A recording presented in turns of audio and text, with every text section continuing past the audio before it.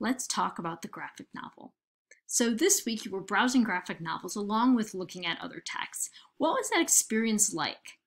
I think browsing a graphic novel is different than, say, trying to browse a prose novel because image sends a message that is received and understood in different ways. Think about that experience of browsing and think about the idea of resistant readers, which is something that we encountered earlier in our ECL readings. And one of my uh, more exciting parts of the class for me is let's listen to some people who are not me talk about graphic novels from an expert's point of view, as well as from a sort of reader response point of view.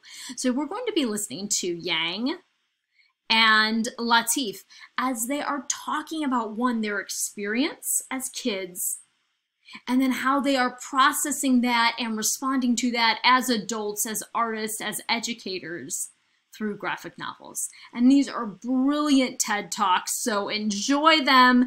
Think about the questions that they bring up and the, the sort of situations that they describe for us because they're giving us insights that I certainly couldn't give to this class.